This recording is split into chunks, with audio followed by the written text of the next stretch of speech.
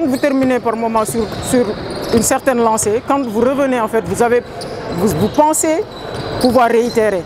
Tel n'a pas été le cas et ça arrive, je le, je, je le dis et je le redirai tout le temps que de besoin. J'ai une équipe en reconstruction, c'est vrai, avec des, des, joueurs vraiment inexpérimentés et tout ça. Donc euh, à l'entraînement, on a vu l'envie.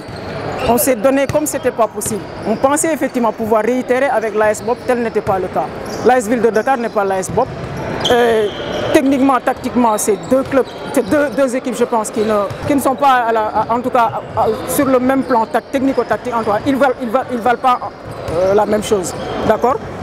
Euh, On a voulu effectivement terminer, comme, commencer comme on avait terminé la dernière fois. Tel n'a pas été le cas. On a, on a manqué, si je, je fais un peu le bilan du match, moi, je pense qu'on termine sur moins 14. Sur moins 14, c'est, on, a, on a raté je ne sais pas combien de... La, chance n'y était pas aujourd'hui. On a manqué beaucoup de tirs. Et d'habitude, c'est nos scoreurs en tout cas qui, qui, n'étaient pas tellement dans le match et tout, tout ça. On a peiné défensivement également du début au troisième carton. On a voulu se rattraper effectivement au niveau du quatrième carton. Ça a marché, c'est vrai. Mais quand même, l'écart était assez considérable, on n'a pas pu rattraper cela.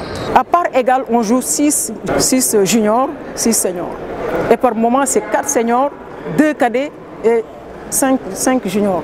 Avec une équipe pareille, mais chaque année, il y a des départs, chaque année, il y en a qui reviennent. Le temps qu'effectivement la mayonnaise, elle prenne, mais ça va prendre du temps.